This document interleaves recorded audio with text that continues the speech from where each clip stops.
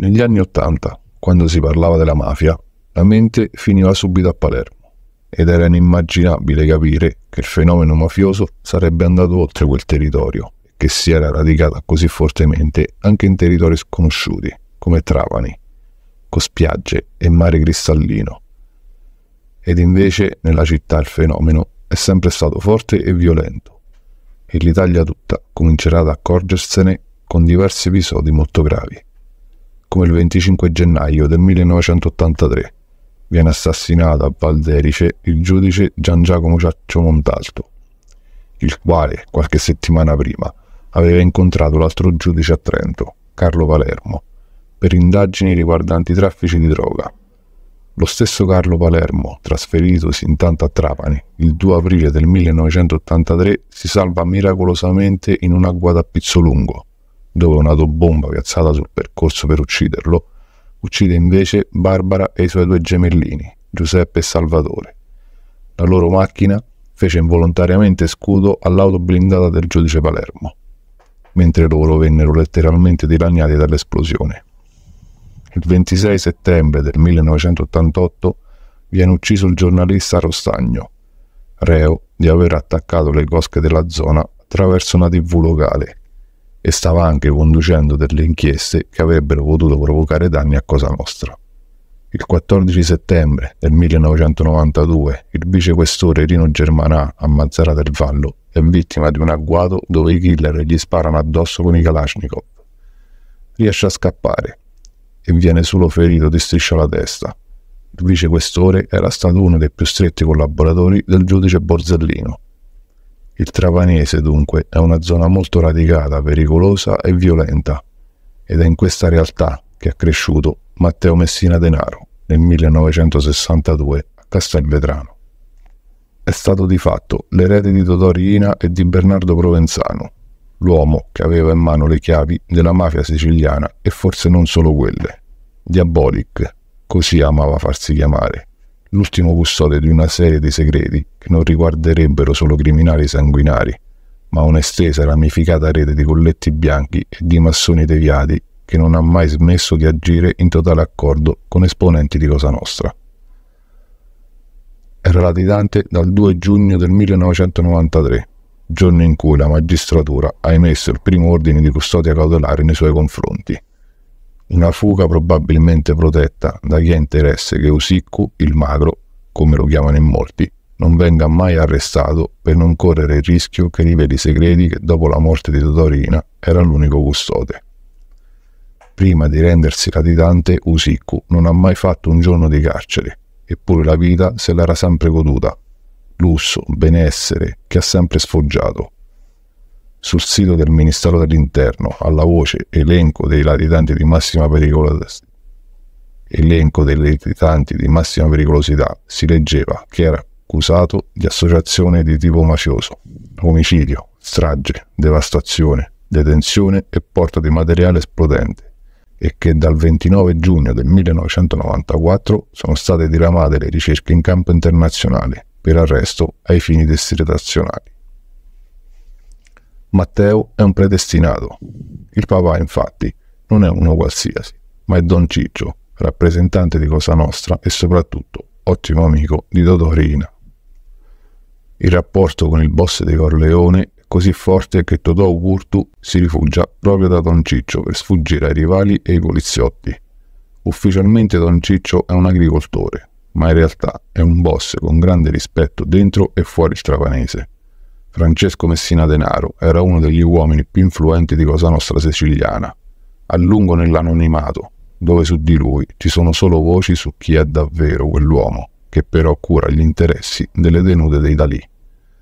Viene processato e subisce una condanna per mafia nel 92 a 10 anni di carcere, nel 95 a 15, ancora per mafia e traffico di droga, accuse di delitti e trame d'affari, eppure di lui si sa poco o niente la vera storia di Don Ciccio forse non verrà mai scritta per intero.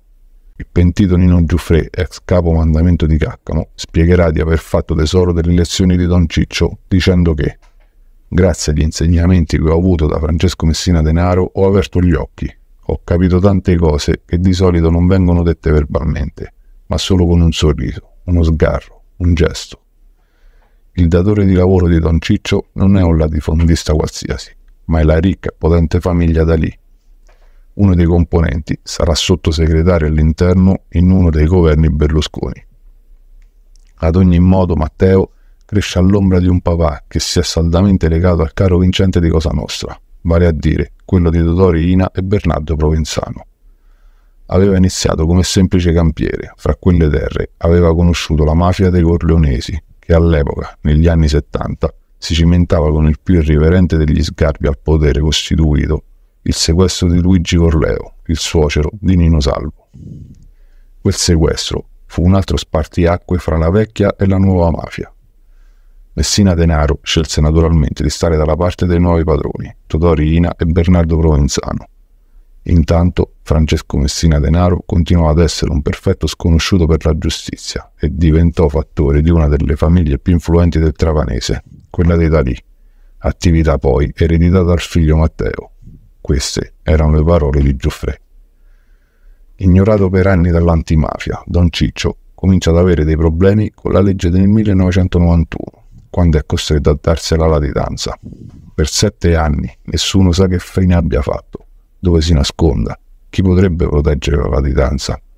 Matteo diventa orfano il 30 novembre del 1998, come certificherà il medico legale Don Ciccio, che in quel periodo è latitante, passa a miglior vita per un collasso cardiocircolatorio. Aveva 70 anni e a farlo fuori è stata una morte naturale e non un paio di fucilate come da Capoplan. La sua morte è comunque assai singolare. La polizia lo trova sotto un ulivo nelle campagne di Castelvetrano. È vestito elegante, già pronto per il funerale. Ad ogni modo, la morte gli consente di non finire sul banco degli imputati per l'omicidio del giornalista Rostagno, il giornalista assassinato a Erice, in provincia di Trapani, nel settembre del 1988. Secondo il pentito Vincenzo Sinagori, infatti, Don Ciccio aveva dato l'ordine di uccidere Rostagno. Papà a parte, Matteo non sembra comunque destinato a fare una vita al di fuori di Cosa Nostra. Da ragazzino è decisamente vivace. Del resto, essere figlio di Don Ciccio gli permette quel piglio da prepotente tipico di chi sa di avere le spalle coperte, qualsiasi cosa faccia, dica. Si iscrive all'Istituto Tecnico Commerciale Ferrigno, ma la strada del ragioniere si interrompe al terzo anno. Prova a riprendere gli studi qualche tempo dopo ma nel dicembre del 1982 la sua carriera scolastica finisce per sempre. In lui ha la consapevolezza che non sarà un titolo di studio a dargli da mangiare. È ricco, spavaldo, servito e corteggiato, usicco in pratica, il mondo ai suoi piedi. Ma c'è qualcosa che non va. È l'occhio sinistro, che per colpa della miopia è diventato un po' strabico e per nascondere l'imperfezione indossa sempre e comunque dei Ray-Ban scuri ma con le donne ci sapeva fare ed è proprio grazie a una delle donne a cui è stato legato che gli inquirenti sono riusciti a raccogliere notizie sul suo conto. Messina Denaro ha utilizzato la ferocia pure nelle sue vicende sentimentali, come negli affari. Anche nel versante privato l'omicidio gli ha servito per liberarsi di una scomoda concorrenza, come Nicola Gonzales, un signore che lavorava al Paradise Beach, un elegante albergo Selinonte nei mesi estivi, nella segreteria dell'hotel, ci lavorava Andrea, una bella ragazza austriaca che ha intrecciato una relazione col giovane mafioso di Castelvetrano. Usicco frequenta perciò spesso il Paradise Beach e spesso con alcuni amici figli di mafiosi come lui, con invadente presenza.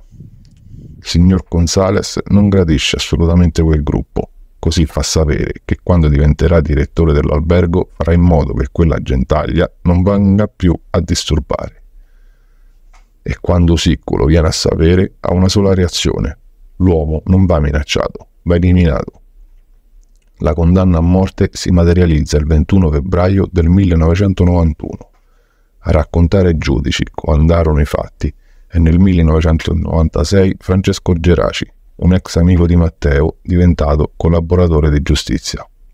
Francesco Geraci, prima di farsi risucchiare nel vortice da Diabolic, è un gioielliere di Castelvetrano, amico d'infanzia di Matteo. Un commerciante che un giorno si pentirà di avergli chiesto un favore perché il prezzo da pagare sarà altissimo. Geraci e Matteo si erano persi di vista, ma poi, all'inizio degli anni 90, si incontrano in un circolo culturale dopo i saluti il commerciante sa che ha di fronte e gli racconta di essere stanco, perché lo hanno rapinato più volte e hanno derubato pure sua sorella e un suo dipendente è stato persino sequestrato. Qualche giorno dopo, Diabolic va in gioielleria e dice a Geraci che da quel momento in poi non avrà più problemi. Geraci è felice, si mette a completa disposizione per qualunque cosa a Matteo. Non sa che da quel preciso momento avrà un debito che non estinguerà mai. Quel qualunque cosa Diabolic lo prende alla lettera, perché Geraci dovrà fare davvero qualunque cosa dovrà mettersi a completa disposizione di Matteo, fargli da autista, accettando anche di essere coinvolto nella commissione di sei omicidi, ricevendo perfino la richiesta di fargli da prestanome e intestarsi la proprietà di alcuni terreni, dopo complesse operazioni finanziarie di riciclaggio. Matteo offre a Geraci anche di conoscere Salvatore Rina, che lo incarica di custodire un piccolo tesoro. Una prima volta, L'incontro con il capo mafia corleonese avviene nell'ufficio proprio del gioielliere.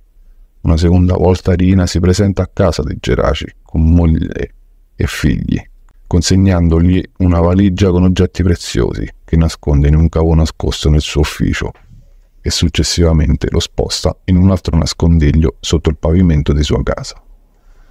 Geraci porta a spasso, anche in modo scavo, i figli di Rina nella zona balneare di Triscina, dove l'intera famiglia trascorre una serena villeggiatura ospitata dagli amici di Diabolic. Il peso da sopportare diventa insostenibile e nel 1995 il gioielliere decide di salvarsi e collabora con la giustizia, raccontando agli inquirenti un importante pezzo della biografia segreta di Diabolic e confessa che l'amico d'infanzia era ormai molto più riverito e potente del papà Cicciò.